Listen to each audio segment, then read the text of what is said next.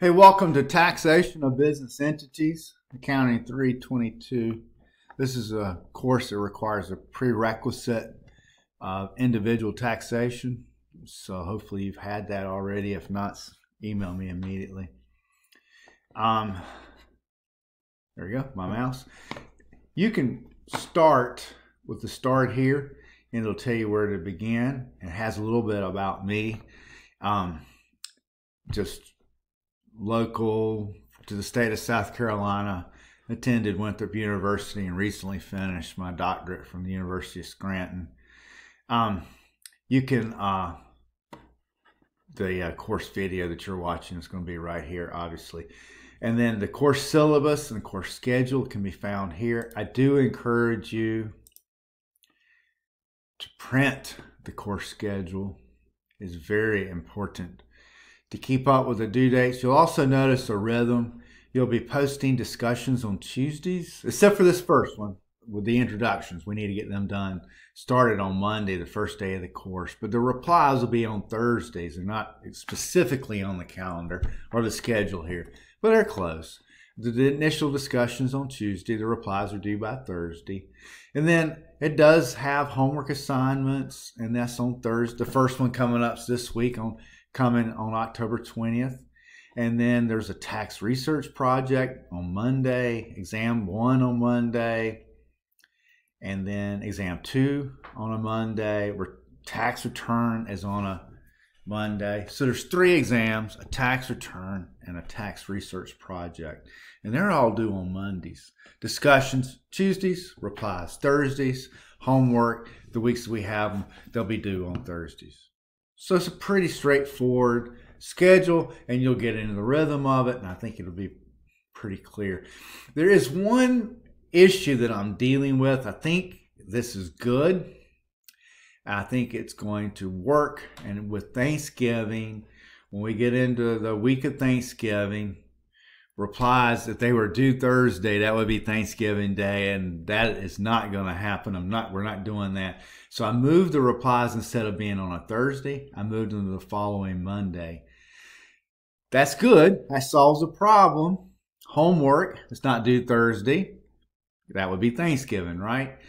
That solves the problem. The only thing is, I had to load everything up on the next available weekday, which is Monday. So now we've got replies due Monday, homework due Monday, and the tax return due Monday. That's a lot. I'm going to leave it up to everybody in the class to govern them themselves accordingly as far as their schedule and family obligations go. I know some people um, might be traveling on Wednesday. This is an asynchronous class. Y'all can travel all day, every day of the week for the entire course. There's no required meeting times. But I know for the holiday, more likely than not, there's family and travel or not. Some people don't do much, if anything. So I'm going to leave that a schedule to you. So what I'm going to suggest is get it turned in early. How early? That depends on your schedule. Work on it over the holiday? Great. Whatever you need. Um, I try not to have, if you notice, I have nothing really to do on the weekends. I think that's really cool. I've moved more and more to that over the last few years. I want to be around, more likely to be around during the week than on the weekends. So I'm moving more and more due dates to the weekday. So it was important to have that due on a Monday. So just a heads up, got weeks before this happens and you can plan ahead um, on that. Let's get back to the course.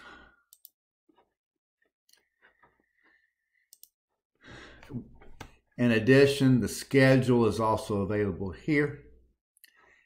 The textbook. If you had individual tax already, you should already have this book if you bought a book.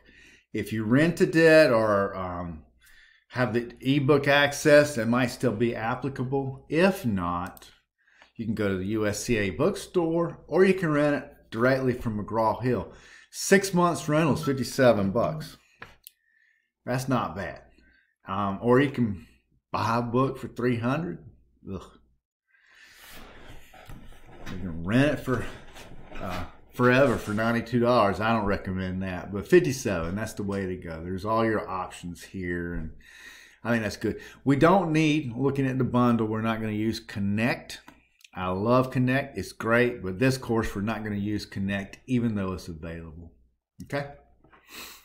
And there might be other options out there. I just thought I'd present those.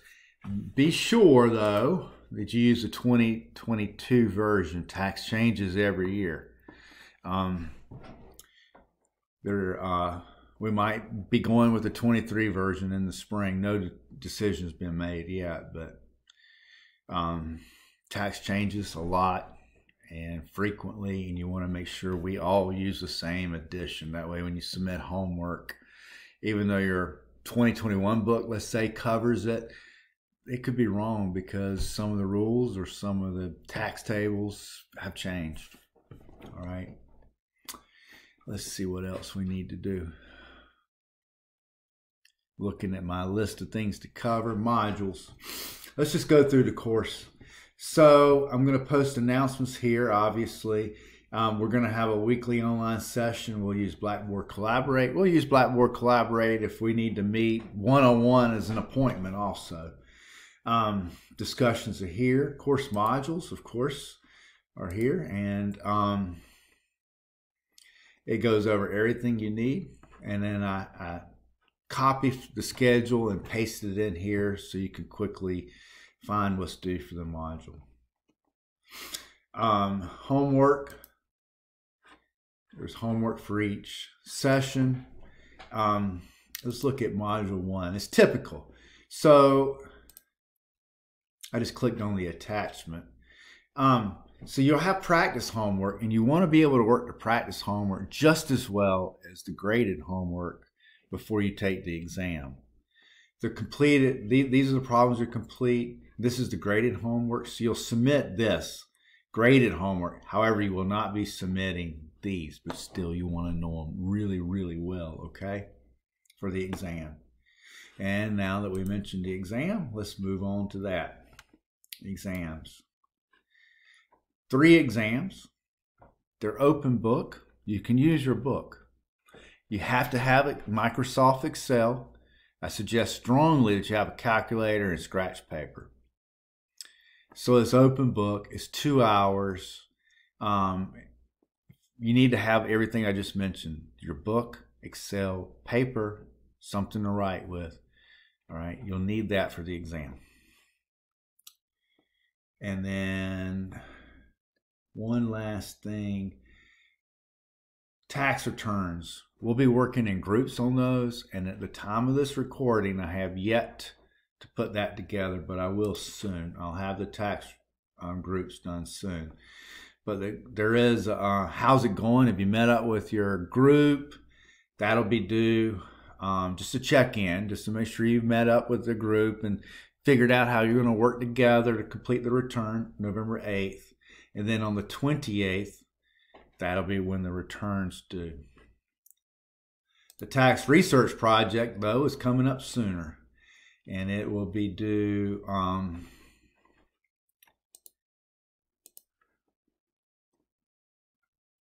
on Monday, October 31st. So it's not too many days from now. So you'll want to start the course, dig into the material, and get going quickly. So, what else is there that I can go over? Um, under start here, I think there is something.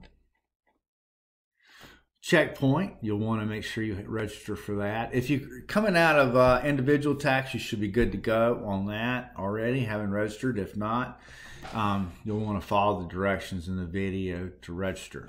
So after you finish this video, if you haven't posted your welcome post and replied to at least two classmates, go ahead and do that. Read through the start here very well. Look over the syllabus very well. Print the course, course schedule. And you know what? Go ahead and dig into module one and under course modules and get ready to start doing your homework for module one. If you have any questions at all, always please email me. That is something I need to cover. Let me do that real fast. This is my office. Um, B&E 110. My office hours this semester are 10 to 12 on Monday and Wednesday. I know we're online, right? So I'm going to try to schedule a one hour online optional session that we can all meet. Or if you can't meet, that's fine because it's optional. Also, if you prefer not to e- email is the best way to get up with me. But if you prefer to text, I got a text number, my Google number. I, you could call it, but I don't normally pick up numbers I don't um, know, but you can text. Just make sure you leave who you are and what class you're in because I give this out to all my classes. 627 8408. And when you uh, text again, leave the course number, your name, and your question. Eh, same thing. If you leave a voice message, same thing. Course, name, message. Google, thankfully, can transcribe a voice message, put it into words, and it shows up basically like a text. so that works great. All right, so that's how you get up with me. If you have any questions, again, just like I said, email is number one, text is good, and I look forward to a great semester. Thank you.